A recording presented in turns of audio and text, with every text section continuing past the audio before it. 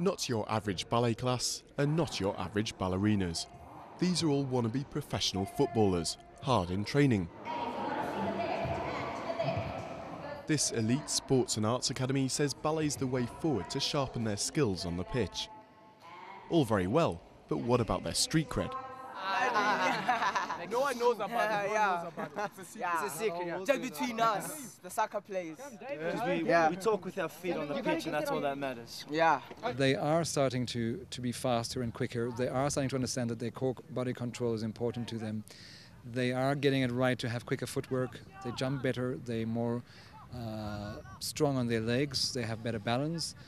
For Bocello, the transition's been stranger than most. Okay, we're going to try fifth position today. He comes from a poor township. On his first match for a local club, he was spotted by talent scouts from the academy. Now he's on a full scholarship, a $14,000 a year place for free. Oh, that was the biggest shock of my life. I was happy at the same time as shocked. Remember, I always went more, yeah, I almost went into tears when I remembered. My mom was in tears though. Something that could happen to these kids too, and not just for budding footballers.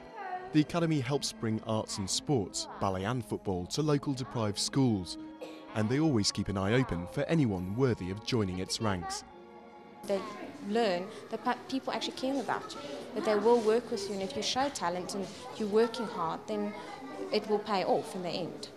Bocello's dreams certainly seem to be coming true. Next on the wish list, to play for Liverpool one day, and, of course, to see South Africa win the World Cup next year.